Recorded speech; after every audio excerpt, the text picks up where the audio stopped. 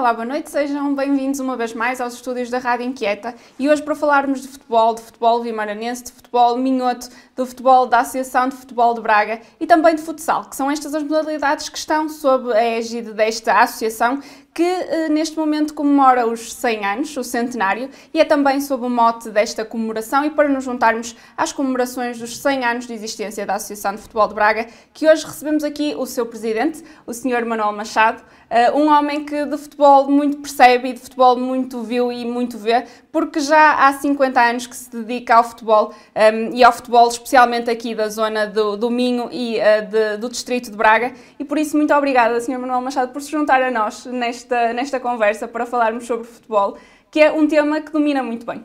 Uh, obrigado eu por este convite, neste projeto que é a Rádio Inquieta, não é?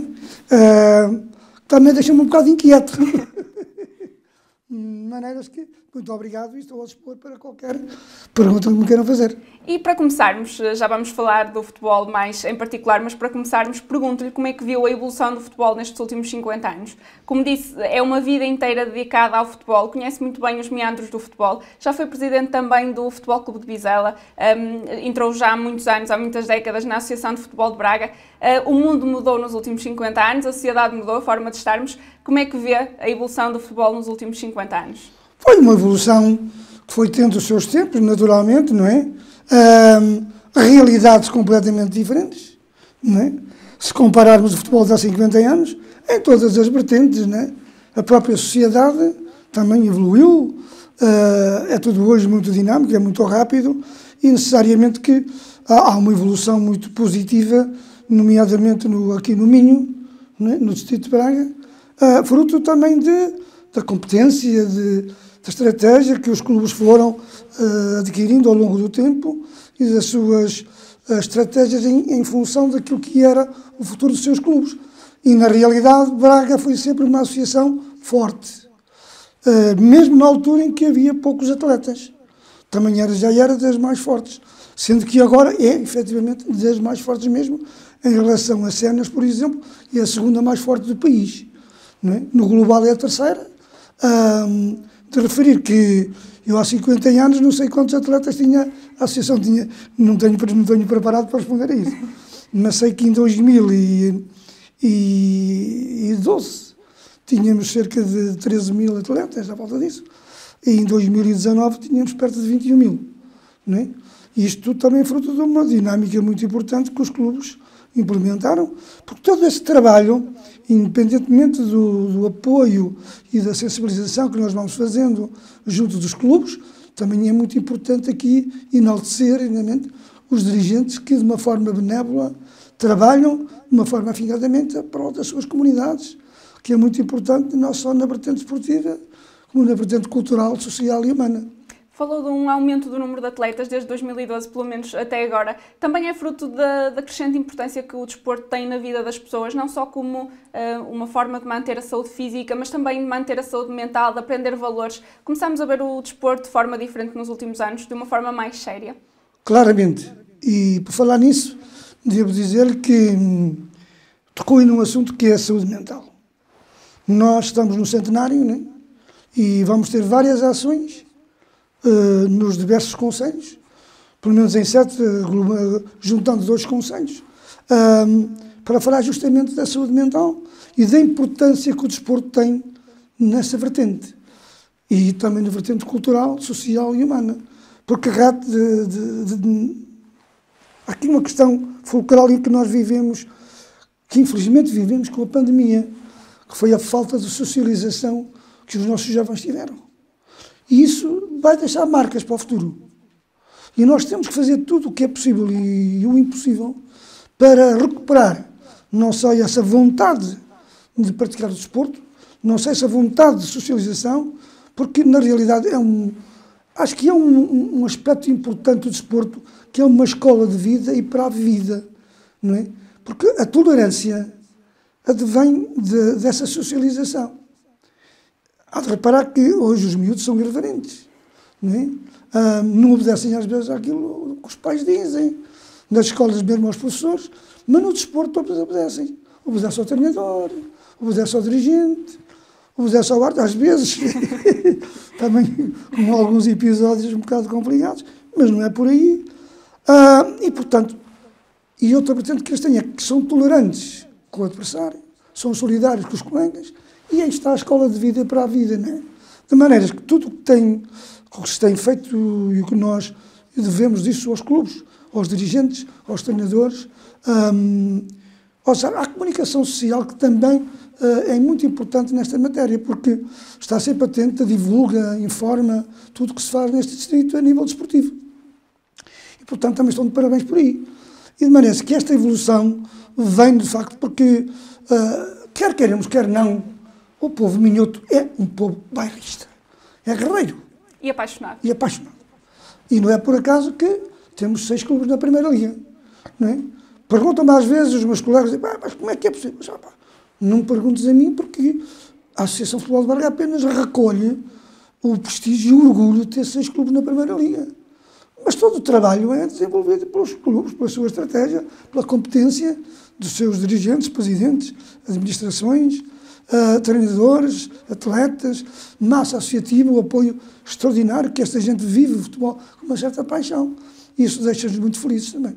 E vamos falar precisamente desse número, esse número mágico, diria eu, de seis clubes uh, na primeira, na primeira divisão é um feito inédito, diria eu, eh, porque são muitos clubes da mesma associação que estão presentes, para além do Vitória e do Moreirense aqui de Guimarães, também o eh, Sporting Clube de Braga, o Futebol Clube de Bizela, o Gil Vicente Futebol Clube e o Futebol Clube de Famalicão. Portanto, são seis emblemas no mais alto escalão do futebol e uma das ligas que cada vez mais importante é no panorama europeu. Um, o Manuel esteve presente recentemente, no último domingo, no Estádio Comendador Joaquim de Almeida Freitas, um, a ver o derby Conselhio, o Derby de Guimarães, entre o Moreirense e o Vitória, como é estar uh, nestes, e há um número de jogos em que o Manuel pode estar como Presidente da Associação de, uh, de Futebol de Braga. Qual é o sentimento que tem quando vai a um jogo destes e tem um cartão de visita tão bom como são geralmente os jogos entre as equipas desta associação?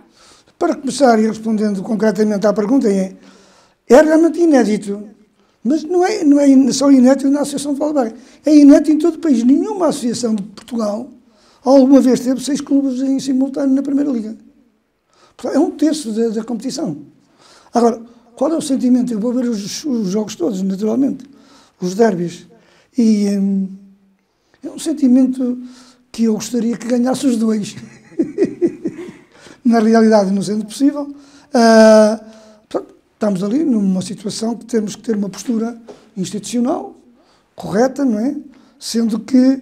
Um, torço que o jogo corra da melhor maneira possível, um, ganhe quem ganhar, que não haja problemas, que não tenha havido, felizmente, uh, independentemente de algumas rivalidades, mas têm sido rivalidades muito bem controladas e de maneiras que uh, assisto àquilo. Agora, quando assisto a um jogo de um dos clubes que estamos na Primeira Liga contra outros adversários, aí o meu comportamento, o meu comportamento é sempre o mesmo da contra mas a minha paixão é diferente, não é? Estou a torcer mas eu torcer mesmo muito para que os meus clubes ganhem. E já disse que não sabe qual é o segredo, que, que, a Associação de Futebol de Braga recolhe apenas o privilégio de ter tantos clubes na primeira divisão, mas considera que por ser uma massa adepta, esta do Minho, tão apaixonada, também põe mais exigência nos dirigentes, nos treinadores, nos próprios jogadores, para que se excedam e para que cheguem a patamares mais superiores, como é este caso, de seis clubes na primeira divisão. É o que diz também. É, é um pouco isso também. E se quer um exemplo concreto, temos aqui o Vitória de Guimarães, é? que é uma massa associativa extraordinária, não é? que é, pega no clube e acompanha, o segura, mas também é muito exigente. Não é? E daí a razão de que as direções, isto extravasa para outros clubes também, que quanto mais é exigido, é evidente que os, os administradores, os presidentes, os diretores, os treinadores e os jogadores sentem isso também e tem que responder a essa exigência de uma forma positiva. Nem sempre é possível, porque o desporto, o futebol é um, é um, tem três resultados possíveis. Não é? Derrota, o empate e, e a vitória.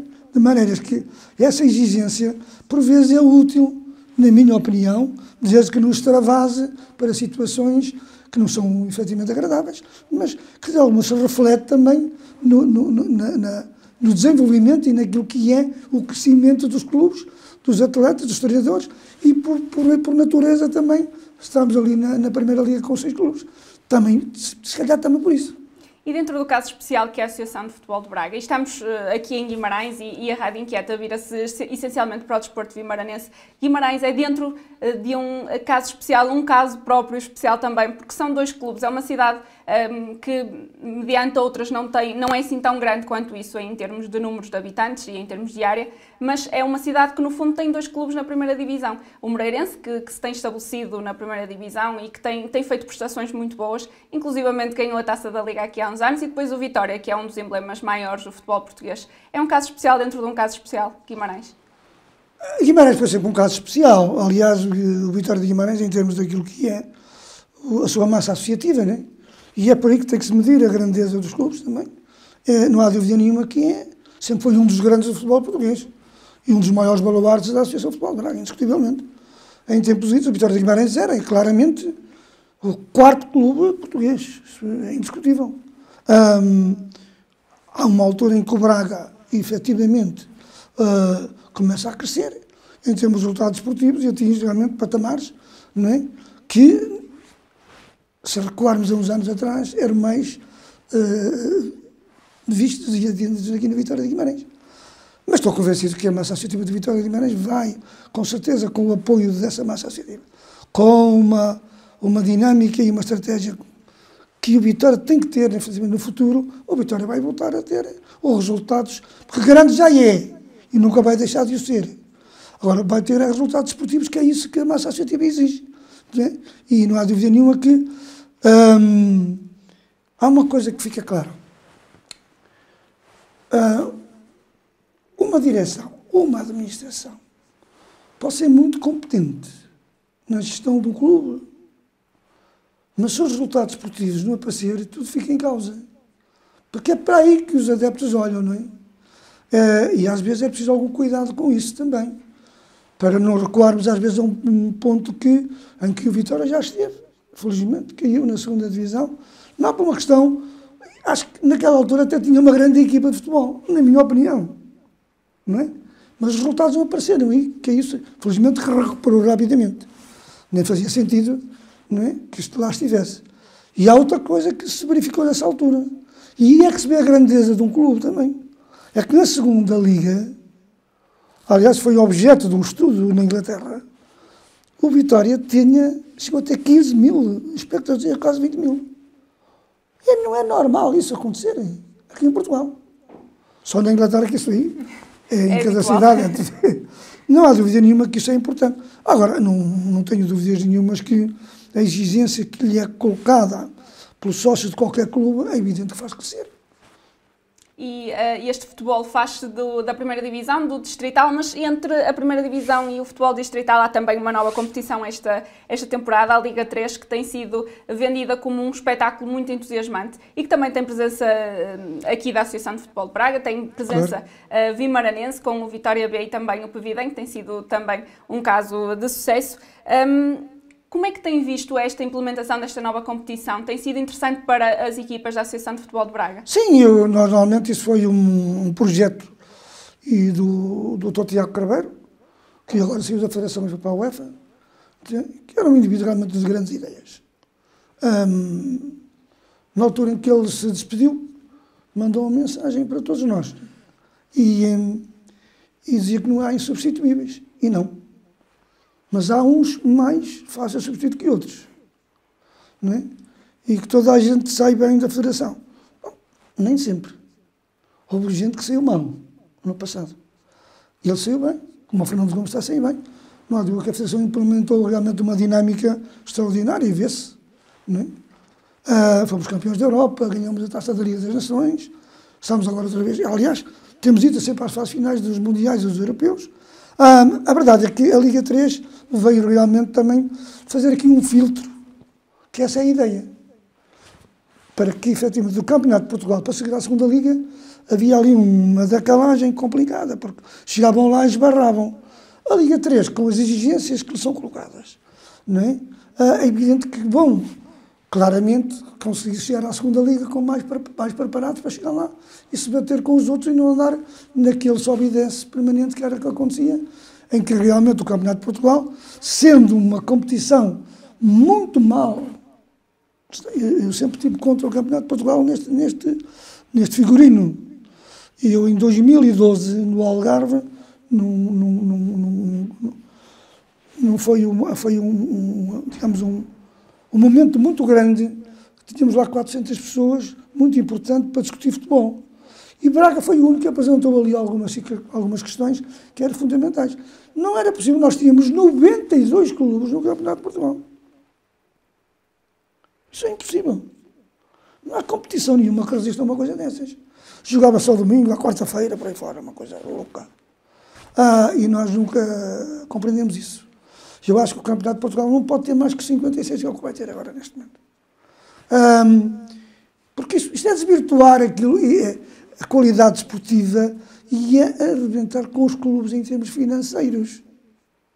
De maneiras que a Liga 3 veio efetivamente com esse objetivo e muito bem concebido, no sentido de filtrar para que do Campeonato de à Liga 3 e da Liga 3 prepara-se melhor para chegar à segunda Liga e se bater com os outros que lá estão de uma maneira mais competente.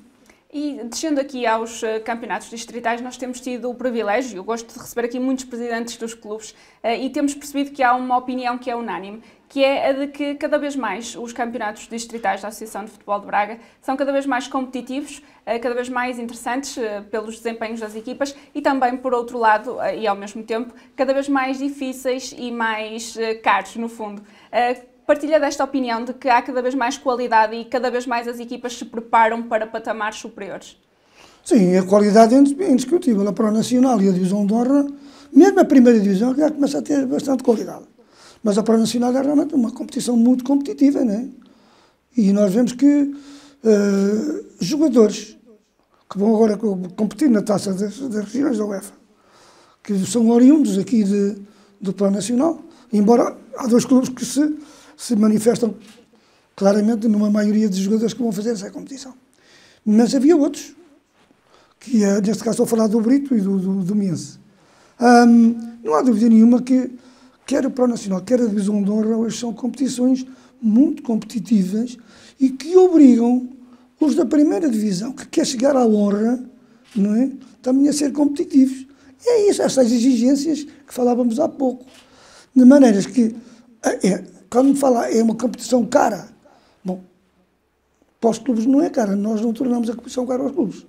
Eu vou dar um exemplo para que fique a saber de uma coisa. Uma taxa de organização da Prova Nacional custa 190 euros com a arbitragem incluída. Sabe quanto é que custa no Porto? Não faço ideia, mas acredito que me diga. 360. Portanto, é uma diferença ainda, é, é, é mais do dobro. Claro. Porquê? Porque nós entendemos que temos de estar ao serviço dos clubes e não ao serviço de termos uma associação. Uma associação de futebol tem, é uma associação hum, desportiva, uh, de utilidade pública, é? uh, de cariz privado, mas sem fins lucrativos. Não faz sentido que tenhamos milhões no banco, não será o caso que eu falei há bocadinho, e termos clubes a pagar coisas que não podem. Temos é que fazer uma gestão equilibrada é? e apoiar os clubes da melhor maneira possível. Eu vou dizer claramente que nestes 10 anos que tenho de presidência, em termos de subsídios para os clubes, para apoios a relevados sintéticos, balneários, uh, e com o apoio que demos também, agora quando foi do Covid, não é? que não cobramos muitas coisas, é, subsidiamos claramente muito perto de 800 mil euros. Não é? E há uma coisa que é muito importante, que muitas associações já estão a cobrar arbitragem à formação. 50% num caso, 20% ou 30%. Nós não cobramos nada. Isso custa à associação qualquer coisa como perto de 400 mil euros por ano. Mas é como eu digo, nós estamos aqui para servir os clubes. Não é para ter muito dinheiro no banco, não é a nossa missão. E para serem parceiros dos clubes, um Exatamente, para estar com eles. Essa é a nossa missão, que está aqui é essa. E daí a razão de termos crescido de 13 ou 14 mil atletas para 21 mil, quase. Não é? São quase 50%. Portanto, essa é a nossa missão. E, portanto, do outro lado também tem, também tem que compreender que também podemos dar tudo e mais alguma coisa. Agora, é evidente que temos que reconhecer o trabalho que eles desenvolvem, por isso apoiamos dentro daquilo que é possível. Porque é, isso, é para isso que nós estamos ali. Porque a Associação de Futebol de Braga não é nossa. Nós, nós estamos lá de passagem. A Associação é dos clubes. O edifício de futebol está muito bem feito. Começa nos clubes, passa pelas associações, vai pelas federações, confederações, UEFA, FIFA. Né? Esse é que é o edifício. Mas é um edifício que tremeu. Tremeu com o Covid. E eu disse uma ocasião, numa, numa reunião online, que opunham argamassa forte na base, na estrutura. Ou o edifício caía construindo. E como é que está essa estrutura agora? Está boa. Temos agora aqui até uma situação, por exemplo, que a Federação Portuguesa de Futebol resolveu disponibilizar 12 eh, milhões de euros de apoio ao desporto amador. É um regulamento que vai agora seguir para os clubes e que tem cinco pilares. O primeiro é o crescimento de atletas, o segundo é o foco no futebol feminino, terceiro a qualificação de recursos, o quinto é o digital, mas no meio tem as infraestruturas. Ou seja, a Associação de Futebol tem 890 mil euros pelo ranking que lhe tocou, sendo que desses 890 mil euros, 578 mil são, de, são para os clubes, para as infraestruturas. Mas também o restante não é para nós. É para nós apoiar os clubes no crescimento de atletas, na qualificação de recursos, no digital né? E aí essas verbas vão ser depois. Amanhã temos uma reunião, como é que vamos fazer isso para recuperar mais atletas? Como é que eu vou? E há um, há um foco importante, o futebol feminino, claramente. Um, nós temos aqui uma questão, nas câmaras municipais são muito importantes no apoio ao desporto.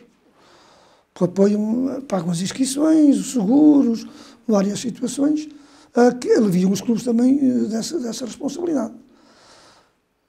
Sendo que nós agora temos que, com este dinheiro, atribuir, como as câmaras pagam. Nós trazemos mais jovens para, para o feminino, para o masculino, seja como for. As câmaras pagam essa formação. Então nós temos que atribuir, via subsídio ou outra coisa qualquer, para motivar ainda mais é, os clubes a ter futebol feminino ou aumentar o masculino. Há aqui um problema, que são as infraestruturas, porque uh, o, nem, nem sempre os clubes têm capacidade de acolher todos no mesmo campo, não é? E não há espaço, raramente há espaço para e, todos. Exatamente, há muita coisa, não é? Depois há uma coisa no futebol feminino que é um bocado complicado sensibilizar, é que normalmente fico sempre para o último lugar. Até aí, há aí uma discriminação que eu não concordo muito bem, não é? Porque eu estou a ver uh, muito bem que os pais de, de, de uma adolescente, não é? Que vê os filhos, as minhas filhas, é? a treinarem às 10 e meia ou 11 horas da noite e a chegar à meia-noite. Exatamente, é o que acontece na, em muitos clubes. Mas isto tem que ter, tem que ter aqui alguma, alguma alteração para que consigamos, efetivamente, crescer no futebol feminino, porque senão não é possível. E, e, vamos falar do futebol feminino. Eu aproveito, se calhar, já a deixa para, para que o façamos agora. Como é que se está a contornar aqui na Associação de Futebol de Braga as dificuldades? O, o Presidente já falou de algumas delas, a questão de ficar sempre para o último futebol feminino, a questão também de muitas vezes, quando é preciso uh, dispensar alguém, geralmente é as equipas, são as equipas femininas que sofrem o primeiro impacto, o golpe de qualquer crise. Como é que isto se contorna e como é que o, o, Presidente Manuel Machado, enquanto Presidente da Associação e uma associação tão preponderante, tenta contornar estes, estas dificuldades? Uh, há uma coisa que é importante. A única associação que cresceu no futebol feminino fomos nós este ano, mesmo depois do Covid. Temos mais atletas do que tínhamos antes do Covid, é curioso. Ah, contornamos, contornamos com apoio necessariamente. Diga-se de passagem também que a Federação também pouco ou nada cobra ao futebol feminino. A Federação encarrega-se de pagar os seguros, por exemplo, que é muito importante. As inscrições são, de facto, muito relativamente pequenas, né? E alguma coisa, que, tudo que nós possamos fazer para contornar as dificuldades, a começar pelo horário dos treinos, que é muito complicado. Ah, porque o futebol feminino é, tem uma complexidade diferente. Não é? E uma coisa que eu entendo é que o futebol feminino carece de alguma coisa, e é nisso que nós vamos apostar, é ter mais mulheres como dirigentes.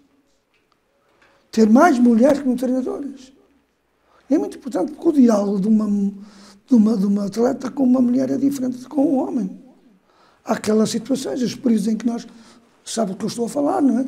Não é fácil estar a falar com um homem numa situação que uma complexidade com a mulher, não tem nada a ver uma coisa com outra.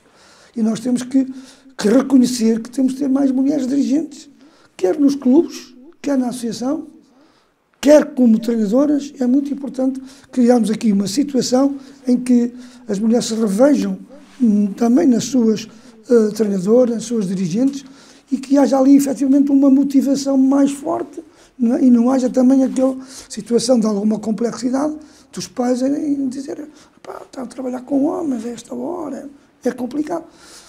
Vamos tentar contornar isso, temos contornado com alguns apoios, vamos contornar também essas dificuldades, porque o foco é mesmo o futebol feminino, porque é aí, é aí que nós podemos crescer.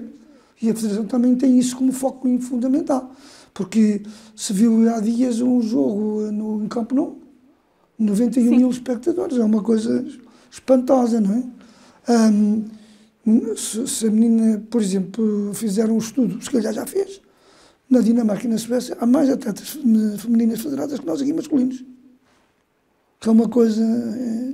Sim, são, outros, mas, são outros tipos de apostas e de mentalidades ora, também. Mas é um problema, um problema, um problema cultural. Sim. Não é?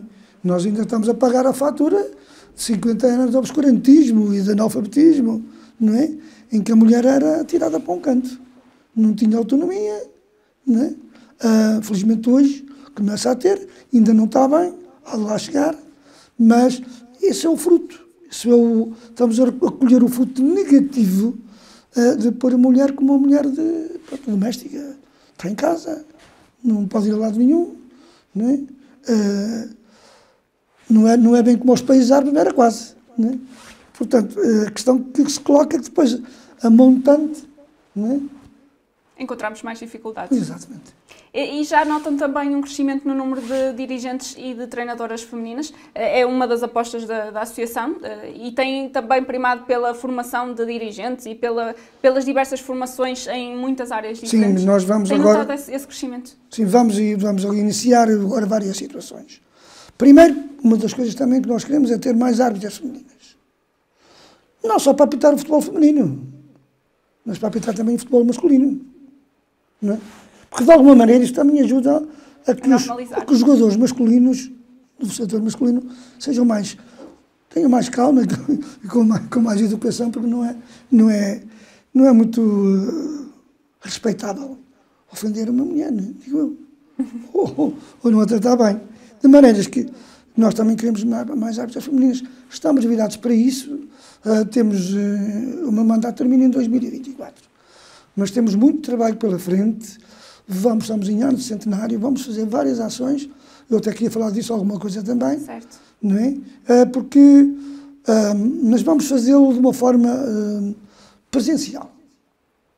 Porque neste momento é possível fazê-lo. E porque online as coisas são mais. Temos que fazer. Perdes o contacto. Exatamente. Uh, o impacto do Covid uh, foi menor do que aquilo que se estava à espera. Falou do número de atletas que achava que ia ser maior. Foi menor este impacto do que aquilo que esperavam? Foi menor porque houve muitos apoios também. Né? Um, desde logo, olha, nós quando o Covid nos apareceu pela frente, eh, a primeira coisa que fizemos foi um, os cianos só pagavam 60% das inscrições. Filiação ninguém pagava. Um, formação só pagava 40%. Um, sendo que, ao fim e ao cabo, as câmaras também apoiaram. E nós fizemos o quê? Um, quando, quando, quando se recomeça a competição, nós não cobramos taxa de arbitragem, taxa de organização de jogo. Só isso, esses valores acumulados deram a volta de 300 mil euros. Por outro lado, houve efetivamente uma capacidade tremenda do Sr. Secretário-Geral, da ILDA, que visitaram os campos, que tiveram cuidado de dizer tenham cuidado com isto, por causa do Covid e isto. Demos ferramentas também para as pessoas, quer ferramentas em termos daquilo que é eh, os cuidados a ter com que vinham oriundos da Direção-Geral de Saúde e também com as nossas, também, as nossas opiniões, porque, de facto, nós temos que, que reconhecer que nem todos os campos tinham as condições para, efetivamente, nomeadamente nos balneários, tinha que haver ali alguma algum cuidado e alguma resiliência, ou se calhar tomar banho a casa. E houve realmente muito cuidado e os clubes foram muito, muito, muito responsáveis nessa matéria. Mas foi muito difícil ser presidente durante um tempo tão conturbado, eh, foi. porque há sempre opiniões contrárias e eh, nunca Não, se consegue agradar a todos. Se lhe disser que na altura em que hum, começámos a iniciar a, a, as competições, que depois não, se, não, não, não, tiveram que parar, não é? Mas na altura, uns não queriam, queriam começar mais cedo, outros queriam começar mais tarde, outros não queriam começar. Havia uma panóplia de, de opiniões, que era uma coisa impressionante. Eu ouvi, ouvimos toda a gente, ouvi, ouvi, ouvi, e depois decidimos. Porque é assim, hum, pior que decidir mal é não decidir. Ah, isso é uma velha. E, e se, no, se o indivíduo fica no meio da ponte, não caminha nem para trás, nem para a frente. Há que decidir e há que assumir a responsabilidade daquilo do cargo que desempenha. E, e depois, ao fim e ao cabo, toda a gente acabou por concordar que a decisão foi correta. Não é? Agora, a gente não pode também andar ao sabor da maré. Quer dizer, ouvimos, mas havia coisas que não faziam sentido nenhum. E, portanto, eh, naquilo que é o interesse da Associação dos Clubes, decidimos em consonância e com apoios também eh, muito importantes. E, portanto, correu bem. E neste período também de, de, pandemia houve alteração aos quadros competitivos da Associação de Futebol de Braga, um, ehm, que entraram em vigor em 2020, 2021, uh, com o formato da Pro Nacional inclusivamente a ser alterado. Qual é o modelo das, uh, do futuro uh, para estas competições? é regressar a um modelo semelhante àquele que existia antes de 2020 ou é continuar com um modelo semelhante a este que existe Não, agora? É regressar ao modelo que tínhamos. Aliás, isso foi dito logo na altura aos clubes. Né? Ou seja, na época 22 e 23 terão que voltar a ser 18. Ou 23, 24, aliás. 18 clubes. Portanto, ainda falta uma época inteira com, Exatamente. com este modelo. Ah, porque não podia também ser de uma, de uma, de uma vez só, não é? Certo. Vai fazendo de uma forma, vai descendo. Porque nós temos que levar em consideração, porque este campeonato com duas séries é, não faz sentido. A base tem que ser mais, ser muito mais forte que a pirâmide lá em cima, né? A pirâmide para ser mais competitiva também, né? E, portanto, é isso que vai acontecer na realidade, é voltar àquilo que era antes do. E, e quais são as perspectivas dos clubes? É uma decisão com a qual os clubes concordam, agora que já provaram uh, o sabor deste novo modelo, uh, mudaram de opinião ou têm a mesma opinião ainda? Não, eles concordaram logo à partida, que isso ia ser feito assim, não é? Não, é, não vai ser uma novidade para eles, porque à partida esse foi que foi colocado à questão. E eles concordaram com isso. E já estamos a caminhar para o fim desta, desta, desta época desportiva, eh, uma época desportiva também ainda não dentro da normalidade, porque houve muitos jogos atrasados. Nós, na altura, na Rádio Inquieta, chegámos a falar com o Presidente também para perceber quantos jogos havia ainda por, por, fazer, por realizar. Como é que está a situação? Como é que, qual é o balanço que faz uh, em termos de, destes números que estavam em atraso e que, entretanto, já foram sendo regularizados? Qual é o balanço que faz desta época ainda? Tem sido um balanço positivo chegámos a temer realmente, por em da altura, que, que o problema da Covid continuasse a criar números complicados não é? e, e a não nos permitir fazer jogos em atraso. Felizmente isso tudo começou a melhorar, mas é também de bom comportamento de todos nós. Não é? Um, e, e, temos alguns, mas nada que nos preocupe no sentido de acabar as competições eh, como elas deviam ser acabadas. E há um pilar que sustenta isto tudo, que é a formação. A formação é, é o ponto primordial de todo o futebol. Um, e recentemente, um estudo conduzido pelo Portugal Football Observatory determinou que nos últimos 10 anos, 15,4% dos jogadores que chegaram às seleções nacionais masculinas efetuaram a sua primeira inscrição na Associação de Futebol de Braga, um, que fica apenas atrás de, de Lisboa e do Porto, uh, mas por, uh, por muito pouco. Isto é um atestado também da qualidade desta Associação de Futebol e da preponderância que tem no futebol nacional. Estamos a falar de 15,4% dos jogadores que chegaram às seleções nacionais masculinas. É muita coisa. Exatamente. Mais uma vez, é o mérito dos clubes, mais uma, mais uma vez, é o mérito dos dirigentes, mais uma vez, é o mérito dos seus sócios, dos seus apoiantes o mérito das câmaras municipais, claramente, e também temos algum mérito, claramente, também nós, porque proporcionamos que isso aconteça.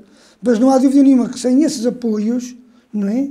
sem as câmaras municipais, são verdadeiramente eh, decisivas na sustentabilidade dos clubes. Porque elas estão a substituir, a substituir o Estado, que é o Estado que tinha a obrigação de, do desenvolvimento desportivo. Não o faz. Fala através das câmaras, que também é o Estado, ao fim e ao cabo. Mas eh, tudo isso foi fruto realmente de um grande trabalho dos clubes, dos sócios, dos adeptos, das câmaras municipais, das associações, e isso é, é altamente gratificante. Eu já conheci esses números, não é? é que é da formação de Braga que se verifica realmente essa, esses valores que chegaram a ser internacionais nas seleções nacionais. Ora bem, o que é que isso nos diz? Mais uma vez, é o Minho, na sua hum, grande vertente bairrista, guerreira, acredita, e isso é importante na vida. Né? E, portanto, mais uma vez, estamos todos de parabéns e também no, no, modelo de competições das, eh, dos escalões de formação, de formação foi necessário fazer alterações neste tempo de Covid para não deixar que os jovens estivessem completamente parados. Foi introduzido o Torneio da Esperança uh, para, para mantê-los ativos e, e, em competição, porque nem só, os treinos, nem só treinos faz uh, a vida desportiva do, dos mais jovens. Uh, este Torneio da Esperança foi muito importante para manter os jovens a jogar e nas equipas e, e a, a praticar desporto, no fundo. Olha, e eu não sou, nunca fui vaidoso na minha vida, nem, nem, nem nunca puxei nada para mim. Mas esse torneio, essa palavra é minha. Fui eu que fui, foi contra a vontade de alguns até dirigentes. Ah, pá, vamos, vamos. O torneio, e é o momento exato, aquele momento tinha que se fazer, tinha que se fazer o torneio da esperança. Para dar esperança aos miúdos, aos atletas, não é? que estamos com eles, estamos, acreditamos. Sabe quantos eh, atletas participaram nessa prova? Cerca Foram de, muitos, muitas equipas. Cerca de 7 mil. E isso também ajudou a que não perdêssemos muitos. Não é? Foi um mês e meio de competição, que nos acompanha dois meses, mas foi muito, muito importante. Aliás, o Fernando Gomes ligou-me e deu-me parabéns. Porque era realmente necessário, naquele momento, dar um, ter um elado de esperança àqueles, àqueles miúdos que estavam fartos de estar em casa né? que não se socializavam. Foi para não haver mais meses, porque não seriam 7 mil, seriam muito mais. Mas pronto, foi o que foi, e ainda bem que foi, ajudou-nos efetivamente a segurar muitos. E o, o, Presidente Manuel Machado muitas vezes refere que nem todos os jogadores, uh, os jovens atletas, podem ser jogadores, e é sempre uma, uma, um ponto importante no discurso que tem. Um, e sabemos que a maioria acaba por não conseguir completar o sonho, porque nem todos podem chegar às equipas mais importantes. Um, a Associação de Futebol de Braga também tem esta preocupação de incutir outros caminhos aos jovens atletas, com essas formações de que falámos há bocadinho, um, de lhes incutir a, a, mentalidade de que se calhar não vão ser jogadores de futebol, mas há muitos outros caminhos em que podem ter sucesso no futebol e, e mesmo fora do futebol. Claro, e há uma coisa importante, há um dado, um dado estatístico, não sei se já leu, que vem da FIFA e da UEFA. Por exemplo, que os miúdos que jogam futebol na altura se dá a partir dos 7 anos. Eles já começam a jogar a partir dos 5. Né? Isso é ainda mais importante. E que praticam desporto até aos 20 anos, consecutivamente, podem não ser jogadores. Mas são melhores homens e melhores mulheres. Têm mais hum, sucesso na vida, porque essa experiência desportiva baseada na cultura, na tolerância e na ética dá-lhe efetivamente uma capacidade de viver a vida de outra maneira e de ver a vida de outra maneira. Portanto, é esses exemplos que nós também tentamos passar. Daí a razão, porque no discurso que faço, a vertente esportiva é importante, mas há as outras. São tão importantes como a vertente esportiva. Porque nem todos, como disse muito bem, nem todos chegarão ao top. Nem todos. E é preciso que eh, os miúdos reconheçam isso. Para quê? Para não ficar frustrados. Quando isso acontecer frustrados quando às vezes não são, também não, não, não, não atingem esses patamares. E eu aí, por exemplo, há aqui uma questão que eu não tenho problema nenhum em dizer. E digo de uma forma aberta. Os pais são importantes em levar os filhos aos treinos, aos jogos. É? São importantes no apoio que dão aos miúdos. Mas alguns pais têm que pensar de uma forma menos emocional e mais racional. E olhar para o seu filho e não pensar que ele é o melhor. Em alguns casos pode ser, em outros não será. Porque isso vai resultar numa frustração do próprio miúdo. Porque se vira para o treinador, não joga, para o dirigente. Entende? E se o jogador tem qualidade, muito bem, tudo, tudo, tudo. mas alguns jogadores acabam por chegar ali a um determinado patamar e saem, não é? Ora bem, que é que resulta uh, daí quando um pai, ou uma mãe, um tio, uma madrinha estão ali a forçar o treinador, o filho que é o melhor, e ele depois viu que não conseguiu, isso resulta numa frustração do próprio miúdo, ou não? E se calhar uma frustração a dobrar, não é? Porque claro. já fica frustrado por ele próprio e pelos, claro, e, pelos outros. Porque começa, e um pai tem a obrigação de ser menos emocional e mais racional, não é? Continuar a levá-los, e a gente agradece muito aos pais que o façam, e, eh, e a disponibilizá-los, aos meninos e às meninas. Um, mas uh, tem que ser com comportamentos na bancada às vezes mais menos emocionantes, menos emocionais e mais racionais. E agora sim, gostava de falar um bocadinho da arbitragem, porque fala-se de uma crise na arbitragem, não só aqui eh, na Associação de Futebol de Braga, mas a nível nacional, eh, da dificuldade de recrutar, de recrutar novos árbitros, de, de pedir aos, aos jovens para, para arbitrar, para aprender, para querer saber. Ehm, como é que está a ser contornada essa dificuldade aqui no Distrito? Olha, tivemos realmente muita dificuldade, não é? porque houve aqui, um, digamos, um, uma, uma situação que eu Aliás, falei com o Sr. Presidente do Conselho de Arbitragem na altura. O recrutamento devia ter sido feito mais cedo. Não é? Para não pôr os miúdos logo a fazer o curso e a apitar os jogos. E vimos na contingência de pedir a Viana, é? Ah, porque tem poucos clubes também, e podia exceder-nos alguns árbitros. Naquela altura. Ah, depois veio a pandemia outra vez, não é? e os árbitros acabaram por chegar. Um, mas alguns estão a fazer mais jogos do que deviam é, como disse muito bem, o problema é o recrutamento não é difícil. Nós, dentro de pouco tempo, vamos abrir mais um curso. Que é gratuito? Que é gratuito. Mais um curso que nós fazemos todos os anos, um curso, mas eu tive agora uma reunião com o Presidente do Conselho de Arbitragem e tenho uma reunião com, com todo o Conselho de Arbitragem no dia 19, para que abram um curso rapidamente, em maio, novamente, para que se preparem novos atos para, para a nova época. Para que eles, de cheguem lá mais bem preparados, não é? Porque nós, dúvida nenhuma, que houvera, nós tínhamos cerca de quase 500 árbitros e chegámos ali a uma altura que quase tínhamos 200 e poucos. Para quem organiza, organizava cerca de 500 jogos por semana, era muito complicado. Mas de maneiras que uh, vamos, conseguimos ultrapassar esta fase e vamos necessariamente trabalhar no sentido de evitar, porque os hábitos são de uma importância tremenda e eu queria que ia deixar uma palavra que é muito uh, de reconhecimento e gratidão aos núcleos que desenvolvem um trabalho extraordinário, não é? Uh, são eles, digamos assim, o vetor mais importante na formação dos jovens árbitros. E trabalham muito bem, e eu quero deixar a eles e a todos os árbitros também, pela sua resiliência, e a todos aqueles que colaboraram com eles, pela sua resiliência, realmente uma palavra de gratidão e de reconhecimento, e de, de reconhecer que eles são realmente uma, uma, uma, uma estrutura muito importante no desenvolvimento desportivo, nomeadamente no futebol, no futsal, e, portanto, eh, para eles uma palavra realmente de muita gratidão e que uh, nunca desistam e que sejam também capazes de ter alguma, ter alguma tolerância também com alguns comportamentos, não é? desde que eles nos trabalhem para situações que, com certeza, serão penalizados aqueles que se comportam mal com eles. Um, e o Distrito vai receber nos próximos dias uh, jogos muito importantes de futebol feminino, uh, nomeadamente da Seleção Nacional, uh, e come começo pela Seleção Sub-19, que é para o apuramento para o Campeonato da Europa de 2022. Há três jogos que, que, vão ser feitos aqui no Distrito de Braga.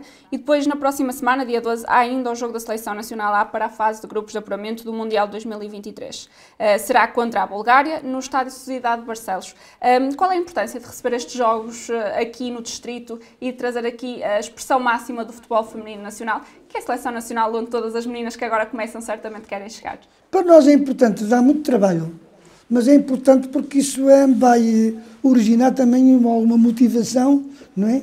São quatro seleções na Sub-19, como sabe, é? Portugal, a Espanha, a Holanda e a Roménia. Um, e esses jogos vão efetivamente, eh, digamos, dinamizar o sentimento de, de ser também jogadora do futebol feminino, não é? E, e, e, também a seleção A, que vai jogar no dia 12 em Barcelos, com a Bulgária, como disse muito bem, e portanto para nós é muito importante. A Federação entendeu mandar para cá, uh, alguma influência também exercida, não é? Porque nós crescemos, nós queremos crescer mais, e portanto tudo isto são referências, não é? Isto é como tudo. Uh, veja que nós crescemos no futebol feminino, porquê? Porque o Vitória também começou a ter futebol feminino. O Famalicão tem futebol feminino, o Braga tem futebol feminino. São referências, não é? Que são normalmente que depois os clubes mais pequenos vão buscar. E, aliás, eu devo dizer uma coisa, eu tenho animado muito, e os presidentes de Câmara também têm tido um papel muito importante, que também desenvolvem essa, essa mensagem que é importante ter futebol feminino. E é. Um, compreendo que as estruturas, as infraestruturas são poucas. São poucas ou pequenas para tudo. Mas, por exemplo, um clube que tenha futebol feminino vai ter claramente mais sócios e mais adeptos nos jogos. Porque vão, vão os seus familiares ver os jogos, não tenha dúvida nenhuma. Isso é um meio também de garantir também a maior receita, sendo que os custos do futebol feminino para os clubes é muito reduzida. E é uma vantagem que eles o façam. Vamos ver. O problema é que realmente as estruturas ou infraestruturas, se quiser, realmente venham a ser melhoradas. Vamos ver com este apoio que vem da Federação Portuguesa de Futebol. Na, na realidade, para 215 clubes, 578 mil euros, não é? E, e nem todos podem ter, uh, cumprir com os requisitos e os critérios que para a candidatura que vão apresentar, não é? Uh, e... A gente cá para os apoiar e esclarecer, mas a verdade é que há determinadas coisas é? que não são, não são viáveis. Por exemplo, um clube cujo clube, o campo é camarário não tem possibilidade de se candidatar. Um, e para além do. Temos, temos estado aqui concentrados no futebol, mas também a Associação de Futebol de Braga é responsável pelo futsal. Um, é uma modalidade que está cada vez mais a crescer, fruto também da, das prestações da Seleção Nacional que têm sido extraordinárias nos campeonatos, nos grandes palcos e nos grandes campeonatos. Um, qual é a avaliação que, que, o Presidente faz do futsal aqui no Distrito de Braga e em específico de Guimarães, que tem um representante uh, na, na, Liga, na, na, Liga Máxima Masculina e um representante que tem tido muito sucesso, que é o Cardoso? Sim, é, olha, eu digo-lhe uma coisa, nós, eu gostaria muito de dizer que nós estamos muito bem no futsal, mas não é verdade. Estamos muito bem com os clubes que temos, mas devemos recordar que o Braga já esteve mais forte no futsal que o que está neste momento. Certo. Não é? Mas isso não foi um problema dos clubes, foi um problema de pavilhões. Para mim é uma coisa muito desagradável. E eu, eu, eu, eu recordo, pelo menos, perdemos quatro ou cinco clubes de Barcelos nomeadamente só daquele conselho, porque o pavilhão eu era para o Oca, para o basquete, e, e, os clubes tinham que ir treinar, não sei, 20 ou 30 km, e portanto não tinham dinheiro. Já tive uma reunião com a Câmara de Barcelos, na altura. Uh, o vereador disponibilizava-se a dar algum apoio, mas entretanto os clubes não. O problema não está só nisso, não está só no dinheiro, é a deslocação para aqui e para lá, portanto não, não, não entrava mais. Só aí perdemos cinco clubes. Não, de facto, quer dizer, é um problema dos pavilhões embora haja pavilhões, mas eles também são ocupados, às vezes até por outras questões que não são para, para lazer e recreação, de alguns, para fazer algumas barriguinhas também, não é? E, e também criar, criar algumas receitas. Mas não há dúvida nenhuma que é um dos problemas que nos afeta, porque se tivéssemos mais disponibilidade de treinos para treinar a horas mais ou menos normais, que é no futsal mesmo feminino, não é? Uh, nós temos o Bruno Nobre, que está a fazer um, uma boa campanha, não é? E Guimarães tem, tem hoje a time que é exclusivamente feminina. É uma coisa extraordinária. É um clube extremamente, muito bem organizado. Começar no presidente e acabar em toda a gente. O time é um clube de referência. Digo isto sem desprimor nenhum para nenhum dos outros, mas é efetivamente um clube de referência. Uh, e há soluções para dar mais condições ao futsal. Uh, é, uma, é uma questão de espaço, é uma questão difícil de resolver quando, quando se mexe com infraestruturas, mas há conversações para que se encontre estes espaços que estão a faltar? Nós, por exemplo, naqueles pilares que eu falei há bocado, no crescimento de atletas, é evidente que envolve o futsal, não é, não é só o futebol. E, e vamos, efetivamente, apoiar muito. Agora, é evidente que temos que ter do outro lado a possibilidade de de nos pavilhões conceder para eles poderem treinar. Nós vamos atribuir verbas. Bom, ou seja, durante um ano ou dois, por exemplo, se calhar, não, não cobrar inscrições. Quem quiser praticar futebol, futsal, futebol feminino e mesmo masculino, aqueles que, aqueles que só têm sénios, por exemplo, criar uma equipa ou duas das camadas jovens, que é importante. Vamos, se calhar, permitir que esses clubes não paguem inscrições nenhumas. Se, os, se as câmaras pagar, então nós daremos um subsídio também eh, que vai acumular àquilo que as câmaras pagam das inscrições. Portanto, é um trabalho que amanhã temos uma reunião sobre isso.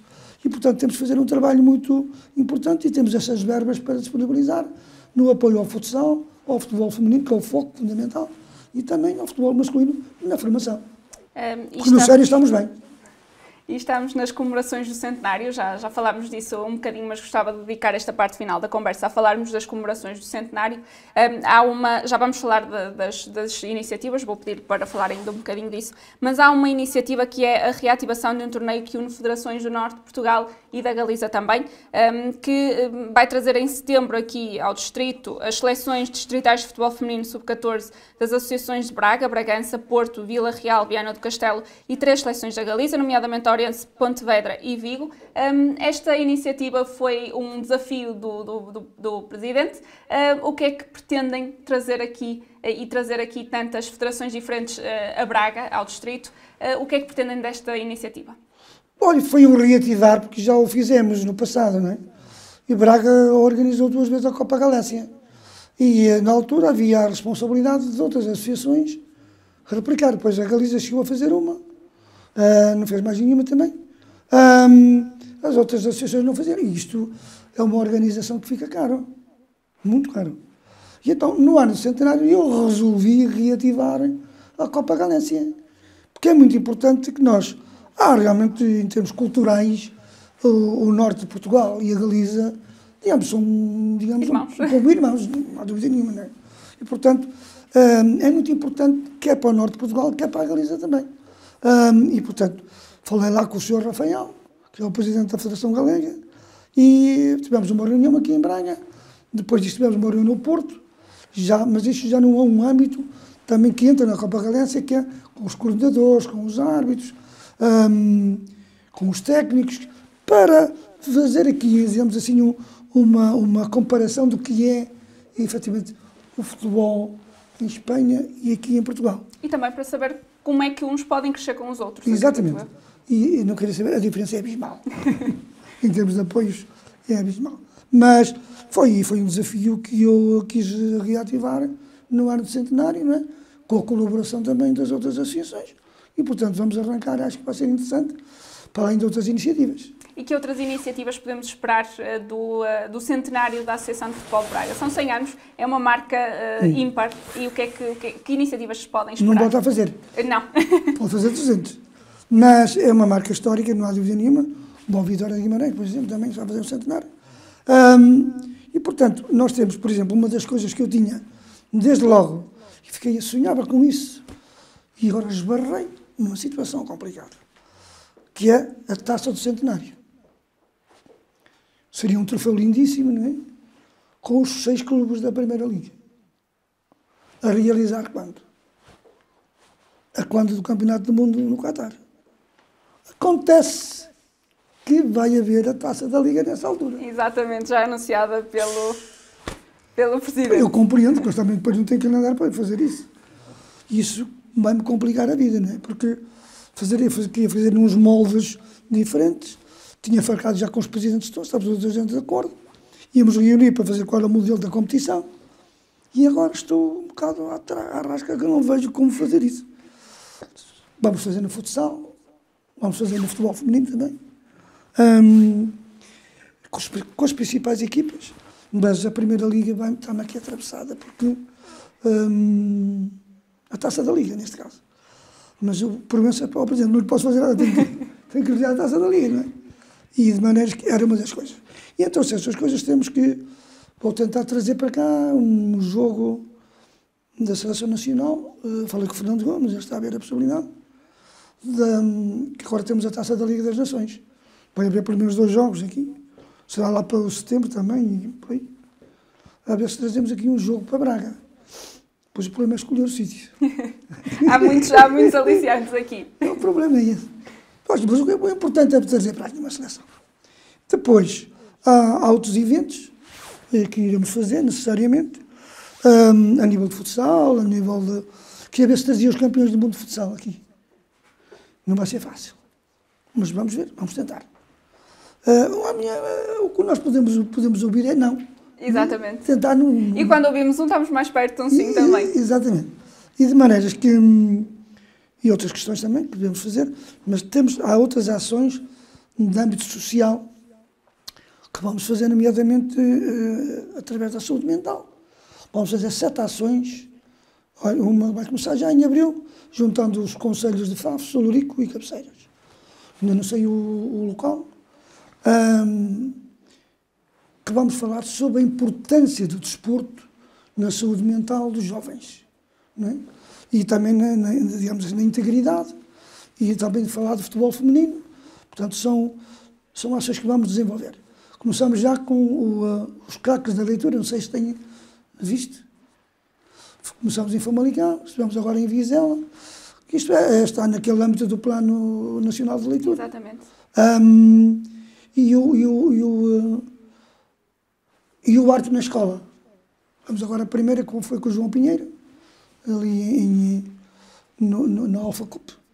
Né? E vamos replicar isso por várias escolas. E que é, é uma coisa extraordinária. Ver aqueles miúdos uh, e miúdas a fazer perguntas aos craques. Os craques são os jogadores, neste caso, aqui em Guimarães, serão os craques.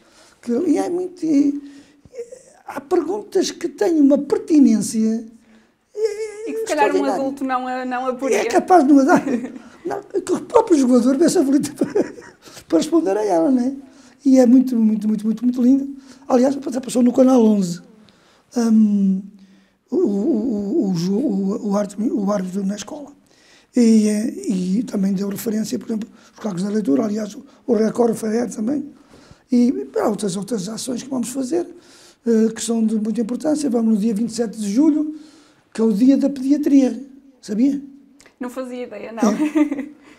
vamos uh, oferecer aqui nos hospitais uma, aos miúdos, aos recém-nascidos, umas, umas, umas lembrançazinhas, é? para depois eles se associarem também à Associação é, de Futebol quando crescerem. há, há datas marcantes e, e aqueles que nasceram, têm, que, vão, que vão nascer são muito importantes também para o futuro. E dos com, clubes, das regiões, da Associação e com, estes, e com estes 100 anos eh, já, já feitos, o que é que o, o Presidente gostaria de ver a Associação de Futebol de Braga fazer no futuro? Porque 100 anos é, dá, dá, dá respeito a uma associação. Uh, o que é que gostaria de ver da associação no futuro? Olha, primeiro gostaria de manter na época 22, 23 os seis clubes. uh, faço votos que o Moreirense consiga ainda dar a volta a isto. É? Tem valor para isso e tem que acreditar que ainda é possível. Um, e gostaria de ver, com certeza, nos clubes, desde a Primeira Liga até ao Regional, um, com sustentabilidade, com, com mais crescimento no futebol feminino, no futsal. Um, Gostaria que a associação, em vez dos quase 21 mil que tinha em 2019, que daqui a, a 3, 4 ou 5 anos tenha 24 ou 25 mil. Não é? é isso que nós pretendemos, independentemente de eu já não fazer parte da associação, mas é evidente que estará sempre dentro de mim esse, esse orgulho de fazer parte de uma associação que cresceu e fazer parte de uma associação cujos clubes realmente uh, engrandeceram, porque o engrandecimento das associações é dos clubes. Eles é que tornam o prestígio e o engrandecimento, são eles, não somos nós. Nós estamos lá e temos a obrigação de responder a esse, a esse crescimento, a esse engrandecimento e a, essa possibilidade que eles nos dão de ser reconhecidos aqui em Portugal e também além fronteiras.